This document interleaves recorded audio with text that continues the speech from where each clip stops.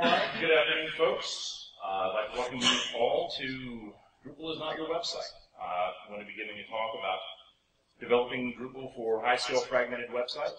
Uh, when I was putting together this presentation, I was trying to come up with a really cool, clever hashtag uh, for this, or everybody could tweet about it, but I couldn't come up with anything. The, uh, the initials are B-I-N-Y-W-S, which at best, that pronounces uh, out as, as vanillas. And then that turned into like a Princess Bride Game of Thrones crossover, and that's, that really needs to be another boss. So.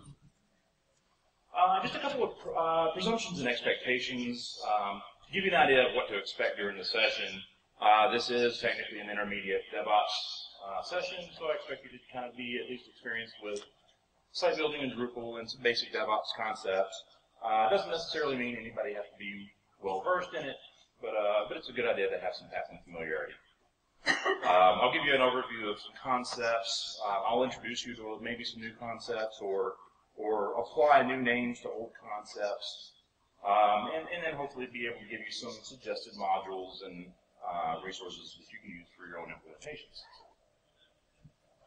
So uh, today I'll try to cover what a website really is. Um, I'm going to talk a lot about the edge, the origin, um, the client side. Uh, these are different locations um, that content can, can come from. Uh, and, and, I'll go about in, uh, quite a bit of detail about those.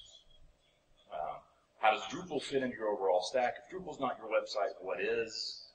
Um, some other elements of, of a website to consider outside of Drupal. Um, we'll talk about removing things from Drupal, offloading things uh, for other services for overall performance, uh, and then finally some real-time and custom content updates on your website. So just to start off uh, with a brief analogy. Uh, does anybody, show of hands, or you can just blurt it out, I don't care. Uh, does anybody know the origin of the Mississippi? Lake Itasca? Uh, it? Close. Uh, so technically, the origin of the Mississippi is, is Harper's Ferry in Iowa.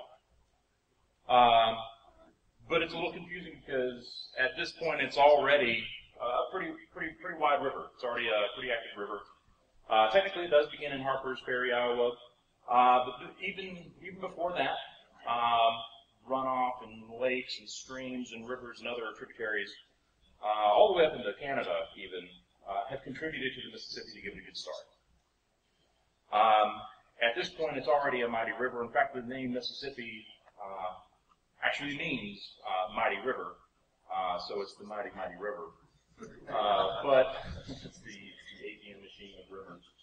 Um, but, but it's important to note that even though it's already a mighty river at the beginning, at its origin, that, that it is it does become something even more powerful uh, than than the origin uh, gives it. So this this official starting point we refer to often as the origin. Um, and so you know then we talk about content inclusion uh, from the origin. Um, the waters at, at, the origin of Mississippi are virtually the same as what flows out um, into the into the Gulf of Mexico as its output. But more waters contribute along the way. You have the Colorado River, the Arkansas River, which is the best river.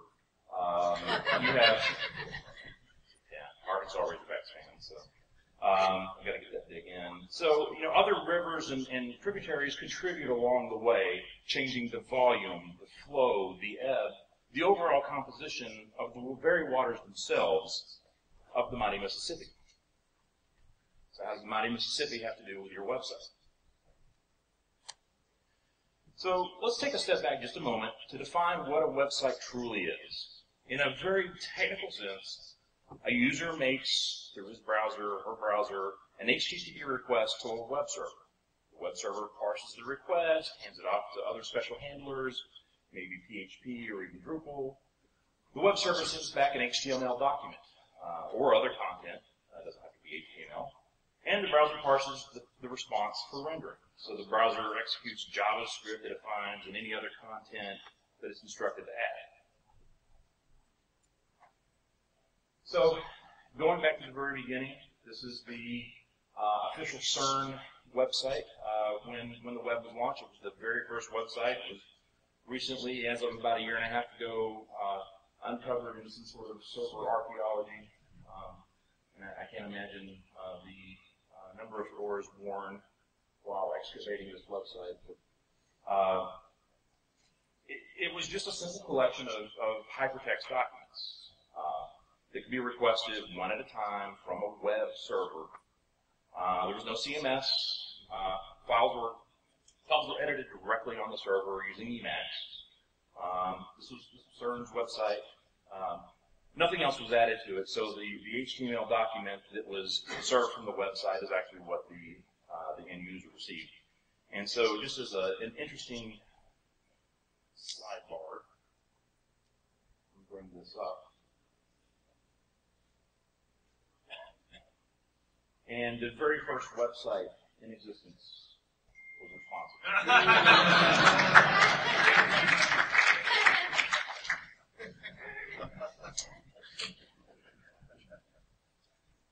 CERN was really looking ahead.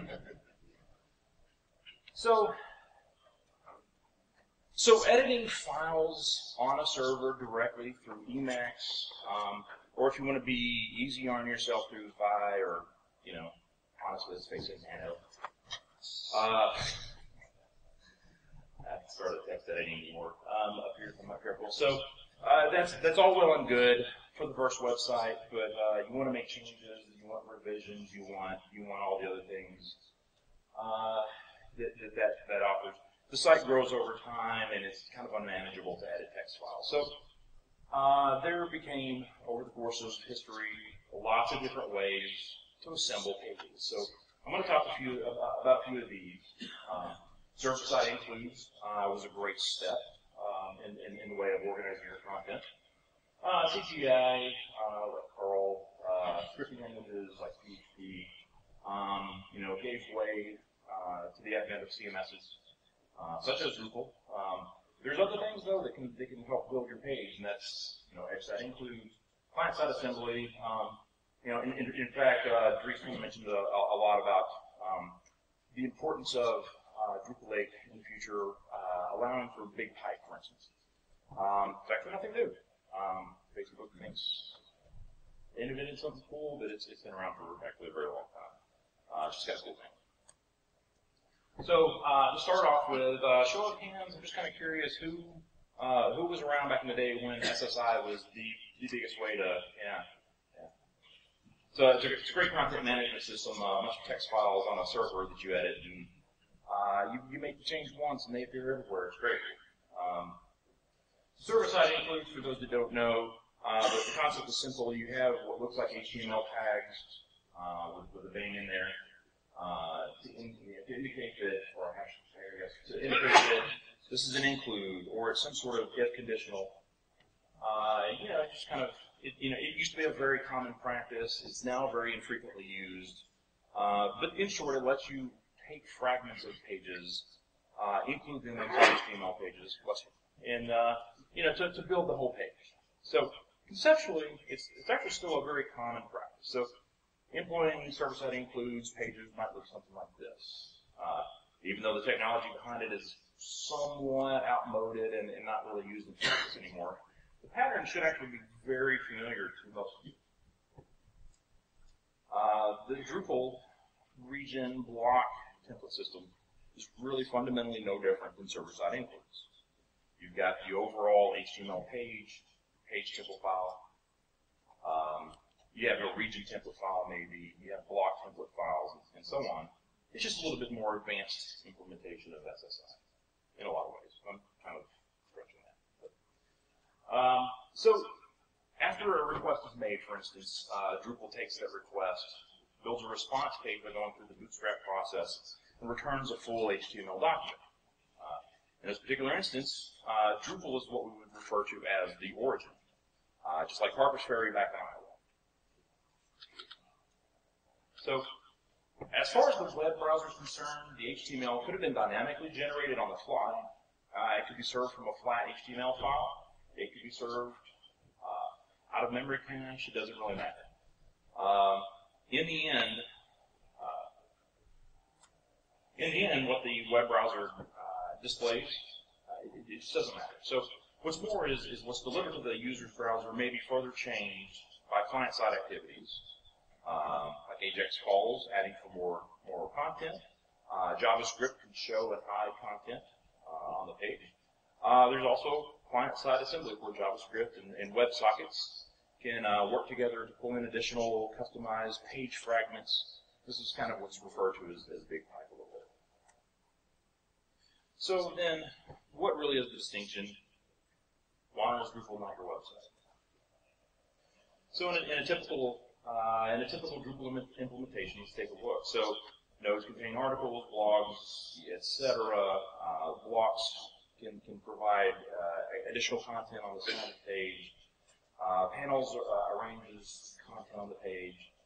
Um, and, and, this is this is kind of what we refer to as a typical Drupal website. You know, we kind of call it the Drupal website, uh, even though the thing that users are interacting with, which is the website, is not all, always directly uh, Drupal. So that starts to sound like, well, is Drupal really my website? Uh, so just just to make everything absolutely clear, so Drupal sends an HTML document. The browser receives the same HTML. That doesn't mean that something in the middle can't potentially change it, right? So if nothing changes at post render, then it seems like Drupal's page is your website. So in this uh, in, a, in, in, the uh, mathematical equation that I used to prove my, my, my theorem uh, or whatever, uh, what happens if, if X never changes? Drupal, for all intents and purposes, is your website. Um, if, if X never changes, the equation seems like a constant, right? So what happens to the equation when the variable changes? For starters, let's take a look at some of the different variables that might actually affect your website. Uh, performance and scale are some big variables that frequently change what Drupal generates, and the final HTML document that the end user sees.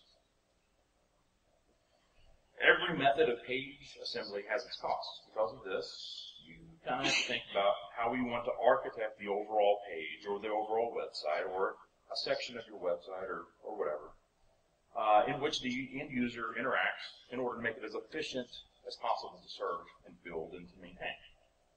Sometimes that means breaking things apart into components, which I'll talk about fragmentation uh, momentarily. But uh, you know, every every single thing seems to have uh, a payoff with, with resource cost, and and resource contention is always a, a problem when you're dealing with limited servers and, and things like that. So PHP execution is costly. Uh, it's just it's just kind of the simple, you know, until we have PHP 7, you know, which uh, gets, gets really close to machine code, it's going to be it's going to be kind of costly to parse and and uh, turn PHP into something executable. Um, and not, not to mention, Drupal has a lot of PHP files and you know millions of lines of code. So it does combat some of these performance issues with caching and, and other methods. So this slide here is a profile of the Bootstrap process. Uh, single page load. It's this this is taken directly from Drupal.org. I know this slide is, is very hard to read, uh, but the, the, the complexity should be pretty obvious. Of, you know, this is, there's a lot going on under the hood for just a single page load in Drupal. So when we talk about scaling Drupal, there's actually several things that we do just kind of commonly uh, out of out of habit, if nothing else. So we might uh, uh, put multiple web servers behind a single load balancer. Uh, we use cache layers like Varnish. Um, you can use Memcache or Redis uh, for a lot of the internal caching. Uh, all of these things sort of act like defensive linemen uh, or bodyguards that kind of stand between an aggressive flood of users to protect the limited resources of the origin server. So here's, here's just a diagram of a, of a very simple uh, enterprise level stack, or it's not even enterprise level, uh, the final HTML document that you see there, that's the thing that's passed off to the, the end user. The browser renders that. It might do some things to it later on, later down the road. Uh, but in this, in this particular case, that, uh, that final HTML document is actually coming from Varnish or from a CDN. Uh, Varnish or that CDN originally pulled that from the load balancer, you know, going back to its origin uh, to get the original piece of content. Uh, but then Varnish, Varnish caches it. it. It just it says, hey, I recognize that request. this is what I got back last time I, uh, I rendered that page, uh, and I'm just going to give it back. It's a whole lot faster, and it protects resources on the server. Uh, so, so varnish, varnish cache is, is, is really the, typically the thing your users are interacting with, not Drupal, uh, varnish in this case. Um, yeah, so, so the, really the request only goes to Drupal if the hash is invalid, out of date, or just simply not present. Uh, so in this case, uh, the load balancer picks a webhead, Nginx calls PHP FPM, or Apache spawns a PHP thread uh, through, you know, MonCGI or, or whatever, however the setup is, and then Drupal renders the appropriate page. So in this case, Drupal is really the back and this is to distinguish between back-end development and front-end development. This is this is truly back-end of, of your DevOps stack. So, and, and, and I say that it's, it's the back end because uh, Drupal is not always the, the, the, the, last thing that affects or modifies a page. Um, it, it, it is important to note that uh, you know, in, in the case of, of varnish configuration or CDNs, um, you know, a lot of these requests can't be modified by Drupal because Drupal never actually receives the response or the, uh, the, the HTTP request. So I kind of alluded to fragmentation as a way to sort of offload some of the performance of your Drupal CMS. Um, and, and, and, so I want to talk a little bit more about fragmentation. So Drupal does a lot of things, right? It's a it's a content management system. It's a it's a content management framework. Uh, Drupal manages users. It manages your primary content. It even manages your the look and feel of your site. But it doesn't need to do everything for your website, nor should it. Uh, there's a lot of different ways to assemble fragments, and, and I'll go into some of these in detail. Um, but but this here is, is sort of the, the, the two uh, two most common methods of post Drupal render uh, with fragmented page assembly. You've got client side, uh, where JavaScript is, is executing from the browser to go fetch additional content or change or manipulate the content on the page. Uh, versus something like Varnish and CDN, which uses edge side includes to assemble things on the edge.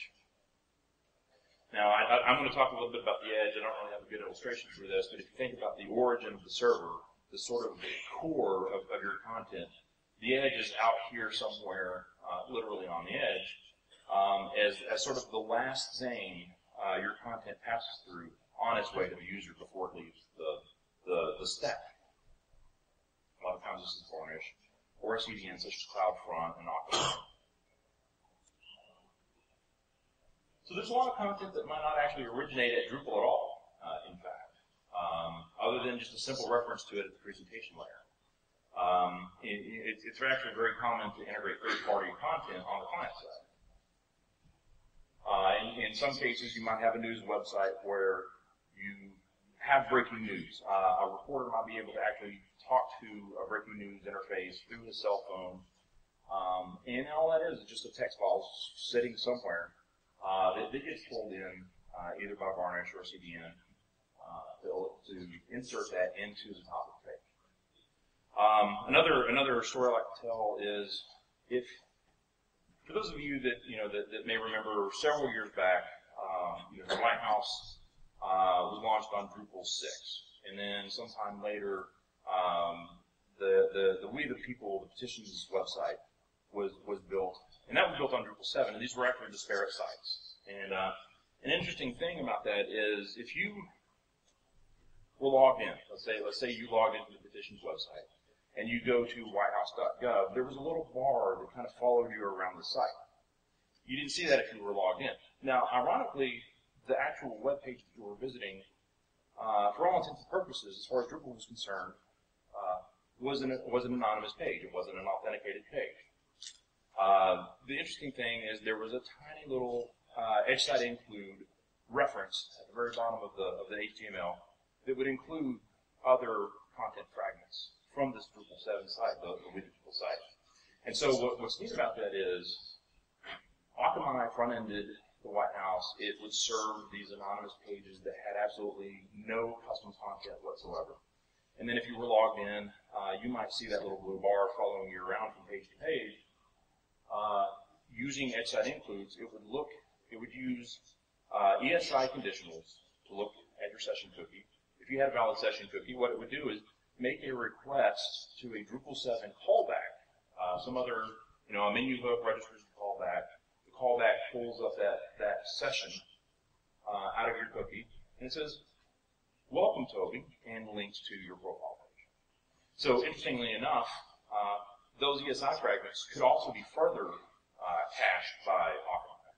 And so what's happening is you're building a completely custom page for the end user using nothing but cached anonymous pages straight out of uh, Akamai memory. So that's kind of an illustration of, of how you can really gain a lot of performance by using edge side includes to build things actually at the edge. So the content assembly is not actually done. You know, Drupal Drupal's done its thing. It's the page out, and it's not complete. It's pulling in fragments from other websites, uh, from other sources, and assembles these things on the edge, and then delivers the fully formed HTML document on to the user. Uh, this is this is actually pretty common with a lot of other things too, if you think about it.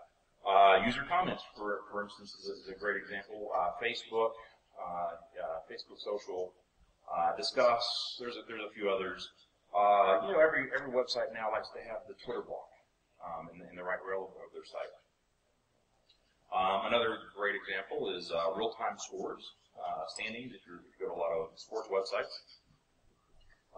breaking news alerts. Uh, but if you think about it, analytics and advertising, these are all things that are part of your site's content that are assembled after they leave origin.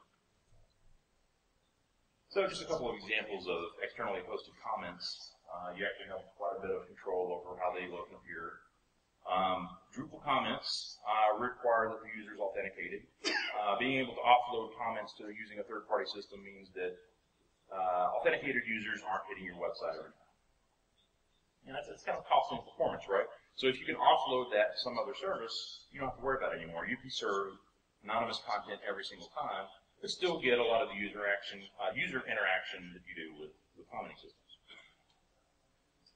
So Drupal might print the placeholder on the page for comments, but it's not actually aware of any of the content contained in the final web page. So this is part of your website, but not part of Drupal. So uh, I've, I've, talked a little bit about uh, uh, client-side assembly. Uh, in fact, Dries mentioned this in his keynote uh, yesterday morning when he talked about BigPipe and some things that you know is exciting and new about uh, Drupal 8. A lot of folks have been, talking about headless Drupal and some of the some of the benefits that, that offers.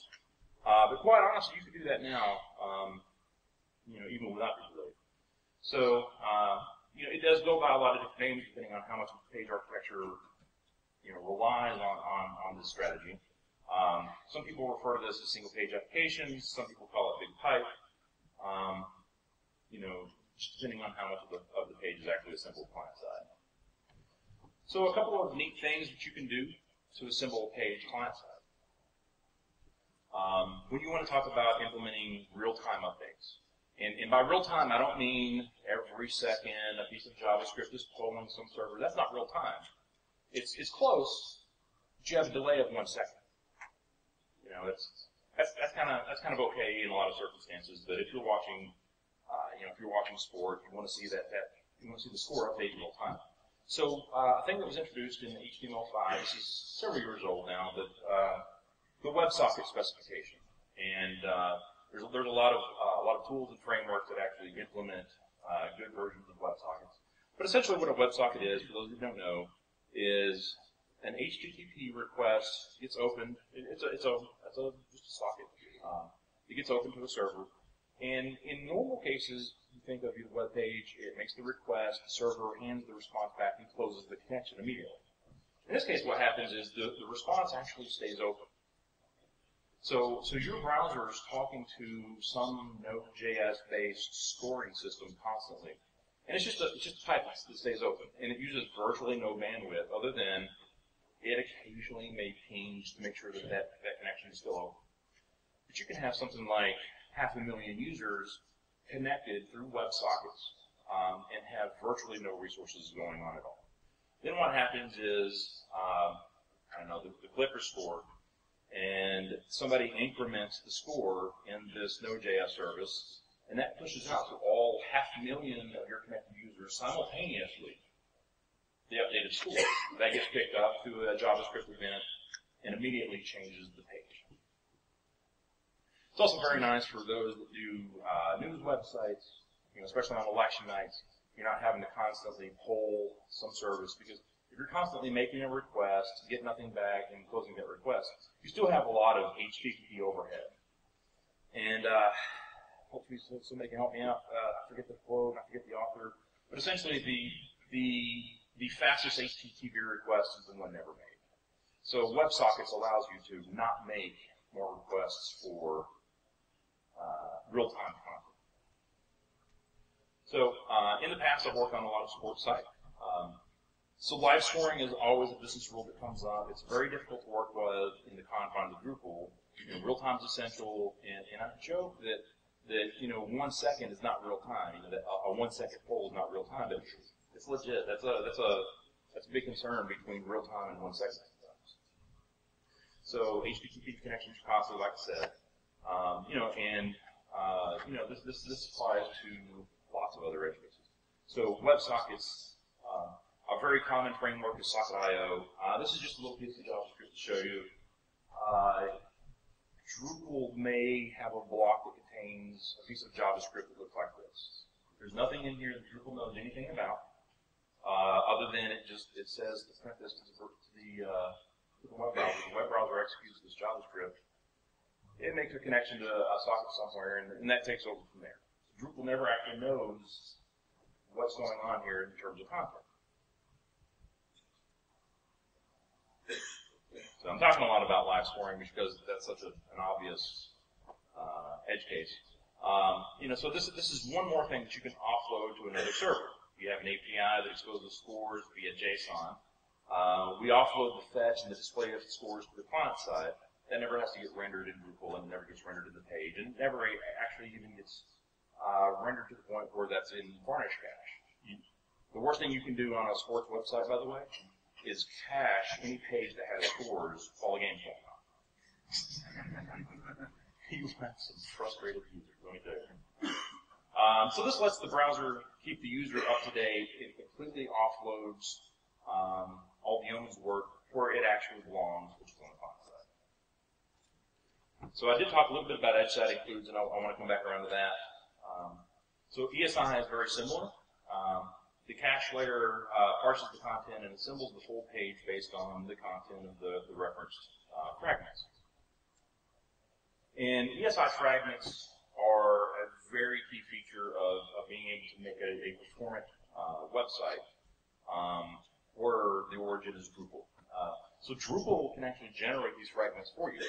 So Drupal can generate the anonymous, the unauthenticated page that gets stored in cache. Uh, and then all that Drupal really has to handle for authenticated users is generating these fragments. So just like you do with other pages uh, or other pieces of content, whether that's HTML, whether it's JSON output, if it's CSV exports. Uh, these, these paths can all be cached by Varnish, by the way. Um, you can also make references to external uh, sites and external services as well. So external ESI means that you have, you can actually have users managed in a completely different space. Uh, this means you can actually have multiple uh, Drupal installs managing your one complex website. So we talked a little bit about authenticated versus unauthenticated users. That's that's important. Uh, you know, authenticated traffic bypasses a lot of the caching layer that we've built up to protect all the resources that we have on the server. So you can use ESI to provide a lot of customized service in an otherwise unauthenticated cache page. Um, you know, an, an, unauthenticated page, if it's tongue twister right after lunch, is, is heavily cached. Um, you know, ESI lets you, uh, you know, customize, you know, all the things that, that users are, are accustomed to seeing. You know, the the welcome username. Here's a list of all your blog posts. All of these individual fragments on the page can now be cached for that specific user. No one else ever sees it. The nice thing is, if you're ever concerned, uh, by the way, about the security of that, um, because any action, uh, such as creating content, editing content, removing, etc., would still have to go to origin it would still have to talk to Drupal. It would still have to authenticate again. Uh, so just because somebody somehow manages to get a, a catchy page that says "Welcome Toby" and you're not Toby, uh, it you know they click on that on that link and it's, it's not going to give them access to anything because this is just HTML. It's not actually interacting with Drupal. So here's, here's how that, that might actually look. Um, you know, you could substitute Varnish for Akamai, for CloudFront, uh, any number of, of CDNs um, in order to manage the edge side. And in fact, ESI has a standard that was put together by over a dozen uh, different CDNs, uh, but Varnish does have a basic implementation of it.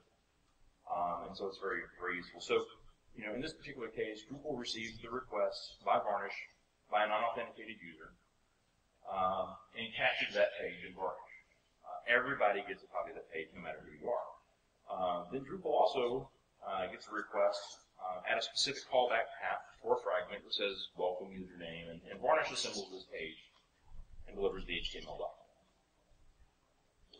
So I just wanted to kind of end with uh, a couple of different um, modules and resources uh, that, that might be valuable. The, the, the, CDN project is is great. It handles a whole lot of uh, moving of content to uh, the uh, CDNs.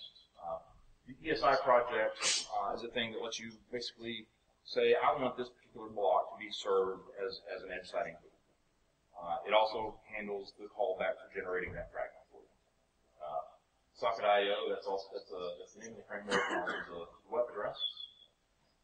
And then just the ESI specs in general. Um, there's, you know, the, Varnish Cache uh, website has some great documentation on their version of, of ESI. Um, Akamai has a great, um, full, very robust implementation of it. I feel like I, I kind of rushed through things a little bit. Um, so at this time, I'd like to go ahead and open up the questions. Uh, if anybody has any questions, uh, and we, we can talk implementation strategies, or we can get kind of kind of technical if you want, or if you just want me to kind of go over a particular thing, let me know. And I think probably the, the best thing to do is, as you, uh, yeah, uh, there's no microphone in the middle there. Yeah, I'm using the microphone that I think is supposed to be. Yeah. I'll try to talk really loud. Yeah. Um,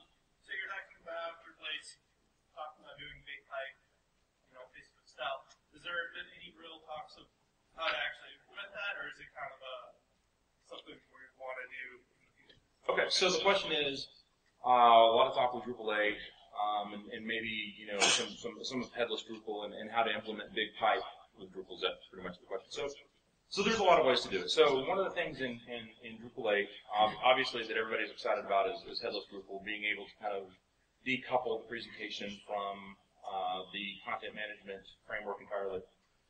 Um, one way that you might go about this is is using something like route subscriptions or the router system in Drupal 8. Uh, you could actually register a service uh, through, you know, this, this, is sort of the, the Symfony service. You can register a service to handle uh, building a lot of the different components that get included on the page. So what you have is essentially, uh, I don't know, let's talk about like a user page, for instance. Uh, you go to your user page, and it has a lot of placeholders in the user template file, in that twig file, uh, with a lot of JavaScript that goes and makes references to all of these other fragments. So the interesting thing is, is you can actually be looking at a page that's not generated by Drupal at all. Uh, it's just a, a, piece of HTML, um, like a static HTML file, for instance, uh, or something that's generated by a Node.js service uh, that has JavaScript references to Drupal and so your event subscriptions, for instance, uh, or your, I'm sorry, your route subscriptions could actually have a callback that says, all right, this user is authenticated. Here's a list of his last five blog posts. Here's uh, some profile information. Here's a list of people that he follows. Here's a list of people that follow him, and, and build that sort of page on the fly. You could uh, probably allow people to customize that in, in what tiles get. So that, that's, that's sort of that's sort of a, a, very top level approach of how you would go ahead and uh, implement BigPipe. Um, there's there's also some JavaScript frameworks that are coming out. Uh, I think Facebook is releasing one um, that's kind of related to how Facebook is handling BigPipe. Um, so just like years ago when uh, CSS frameworks started coming out to help handle you know, grid systems, there's going to be a lot of competing uh, frameworks for, for BigPipe as well. All right, any other questions?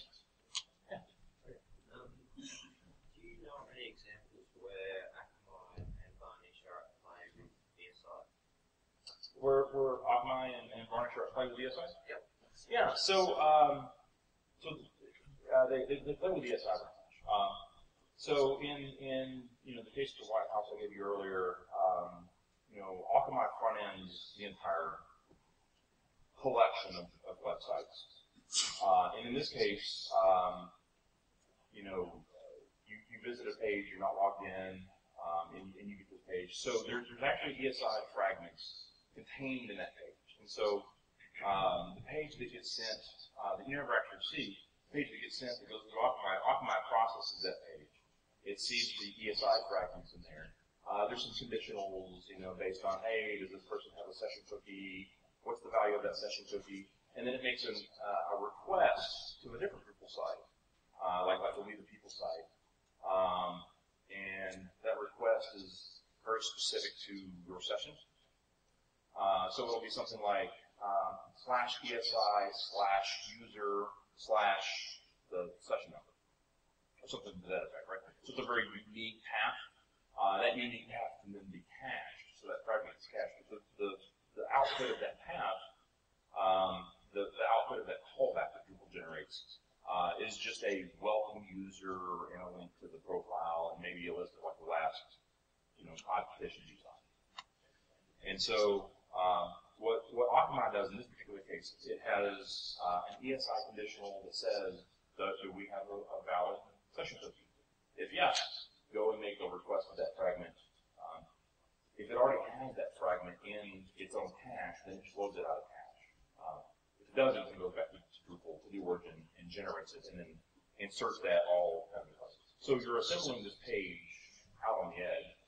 Um, Drupal doesn't actually, the Drupal 6 site doesn't know that you're logged in to the Drupal 7 site over here. Does, does that make sense? Okay, and we, we can talk later. So, I have a follow-up question on that. So are you saying that then the session cookie becomes part of the cache key at the edge, so that the content is cached with the URL and session cookie? That is the- So, yeah, so the question is, does, does the session cookie have a, a role in, in that, um, in that path? Yeah, so, so the, the value of the session cookie is just, you know, it's just a hash that sort of represents your session, and it's not even actually the session, uh, value per se. Um, but yeah, that, that request, um, is actually part of the, the session value, uh, the, the session cookie value. So what happens is, uh, you, you'll, you'll have, it'll be just a, a sort of generic, uh, callback that handles that particular session that looks it up in a, in a special table. And it's not actually the Drupal session. Uh, what's going on is they've actually got a, a custom, uh, uh, hash value, you know, that corresponds to a particular user just so that there's not, you know, it reduces the chance of session hijacking. Uh, but what happens is it's, it's got this session value, it looks it up, then it does a couple of things like, is this user actually authenticated? Are they an active account, et cetera, et cetera. Does that go back to Drupal Yeah, it goes back, to, but it goes back to the the people website and not the actual live White House site. So, um, Akamai is front ending the the Drupal well, seven now, but the, the, it, it front ends the, the White House site, uh, and then goes and pulls, makes a request to this other We the People site over here for that little fragment to insert. So, So that fragment is not actually cached, the fragment is. So, so interestingly enough, it's it's not hashed the first time, but after the request is made, because it's such a unique ID, um, you know, and it's you know it is tied to a, a user, and that that that token gets destroyed when the user logs out. Um, the results of that ESI fragment uh, request are actually cached. So what happens is Akamai now says, okay, the next time you go to another page, it says, okay, I've got the next page already in cache. Let me deliver that and I need to assemble some other things. And so it pulls those fragments that it's already generated out of its own cache. So you're, you're only making around four points. And you said that session, that, that cookie is destroyed on logout, so that, that roughly handles security. Yeah. it's just like with any other session handling in, Drupal. But it was it was a way to kind of uniquify that path, uh, since most varnish and CDN caching is based on path.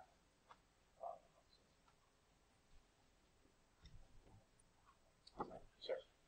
So, we have a instances of running um, uh, through Acquia servers in a shared environment, so multiple Dockers. And we're using Varnish through SSL, but we also have a combination in one instance of some SSL sites or sites using SSL um, and sites that aren't on the same server. Um, we haven't been able to really find any clear documentation in terms of if Memcache is an issue in that kind of a situation, in terms of caching information we wouldn't want to have cache. Do you know of anything like that? So, so you're on a shared hosting setup with multiple sites. Some are HTTPS and some are HTTP. Right? And so then the question is, um, you have problems with Memcache caching things you don't necessarily want. Uh, I'm not, I'm not, I'm not entirely sure which things you wouldn't want cached, uh, but Memcache is going to be uh, agnostic to whether the site is over SSL or not. Uh, and, and in fact, I think probably what's happening is I'm guessing at the load balancer, SSL terminates there, and all requests actually go through to Drupal is probably either all HTTPS or HTTP.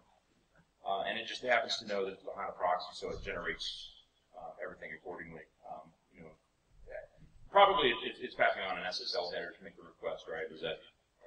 So um, in that case, um, Memcache is not going to be um, aware of how the request was made. What what gets cached in Memcache is, is likely going to be just you know just just like it just like it was over regular HTTP. Yeah. Um, you, you could probably like in Drupal 8 you can control a lot of that with cache tags and things like that. Um, in Drupal 6 and 7 you're going to have to manipulate the, the, the cache bins. You probably create a, a custom bin and, and kind of pick and choose and cherry pick what goes in there um, based on sensitivity of, of content. But yeah, that's that's uh, that's going to be sort of um, irrespective of, of how the request was actually made. Sorry. Um, best I can ask this, so a lot of discussion about headless Drupal. The approach taken is, expose a REST API and deliver Drupal site content as JSON, right? Mhm. And that all makes sense to me if, if you're receiving that, uh, in the client browser and, and receiving JavaScript and, and rendering in some way. Right. A lot of the tools you're talking about, which we're interested in, involve um, things that are happening server side at the edge required to be. What are those things programmatically? Are they? It seems like there's sort of a standard version for assembling HTML, assembling markup, assembling HTML, not receiving content in some other form. It's sort of getting at So you're asking about um, how headless Drupal and how some of these other page assembly uh, techniques interact. I'm, I'm just sort of, I'm, I'm thinking, I see a little bit of a disconnect here that, you know, headless Drupal interpreted as a REST API delivering content that's not markup. Um, doesn't sort of align exactly with these tools at the edge that seem to be designed to receive markup and Okay, so the question is, so so headless Drupal is designed to, to deliver its primary set of content as something other than this HTML document that might be manipulated on the edge through side includes or, or something else. So yeah, that's a very good question. So um, it, it's it's, a, it's going to be a slightly different technique. So what you what you may actually have is in this case, uh, Drupal is definitely not your website. You may have um, the thing that you, you kind of conceptually think of as the origin of your website is not actually Drupal at all, but it might be something like Node.js, which is using, I don't know, like Jade to generate templates. You know, so the actual markup begins here and, and not over here in Drupal. So you have something like a Node.js service uh, where you're actually managing your primary content. Um, and you may be using Drupal for things like user authentication um, and for other ancillary content. Um, or you may have um, a massive selection of services, and Drupal is just handing handling things like statistics or you know other like I don't know, any really good examples off, off the top of my head, but um, so so this other thing over here might actually be the the origin of your HTML document that's delivered to users, and then it makes a lot of requests to this headless Drupal over here, um, and it says, hey, I want um, I want a JSON export of all of your uh, of all the content you have related to this particular uh, this particular taxonomy term. And so then that gets generated uh, via JavaScript and maybe pulls you know some of that stuff over through Ajax or whatever, uh, and, and builds that on the edge in, into the page. So uh, yeah, so so definitely. Um, Definitely in that case, Drupal is, is not going to be the origin of the HTML document. But uh, it might actually be the origin of all your fragments that get included into something else that's building your, your HTML document somewhere else. Does that help? Or? Yeah, Yeah. it does. Uh, But a follow-up question. We're so used to, and most of us are so used to, Drupal also has a content authoring system. And most of the content gets created with markup. Right. Vendors do things, they modify markup in there. And the question is, what happens to that, markup when it gets reassembled or it- it's really not being treated as content, fed into some template or something. It can be made to work. Yeah, so so in, in your content management system in Drupal, you've got a lot of marked up content already. Like the body of a node, for instance, may be really marked up already. It's going to have a lot of HTML, but by itself, that body is really just a fragment of, of an HTML page. Um, so in, in that case, you, you may you may use Drupal as a way. You may use the, the, the Drupal 8 WYSIWYG to mark up the body content, and then you may use uh, headless Drupal um, to transport that and a bunch of disparate fields via JSON to some other service where that gets assembled either you know, client side um, through BigPipe or, or maybe maybe it has individual fragments of, of that article that you're interested in, in displaying um, as ESI fragments that get built on the edge. Um, but I, I think where your interests may lie are probably going to be a little bit more client side assembly rather than edge side assembly. Um, uh, JavaScript would let you be able to kind of pick and choose with a little bit more granularity, uh, customized to a particular user, because you could you could actually go to Headless Drupal, get a request of all that user's preferences in JSON, um, and that's sort of the, the page level bootstrap. Um, so you're actually, you know, you may be looking at something like a like a single page application uh, where that page is, is loading pieces of the page based on user activity. You click on some link and it doesn't actually reload the page, it actually just rebuilds the page based on some, some markup that it requests from your Drupal instance.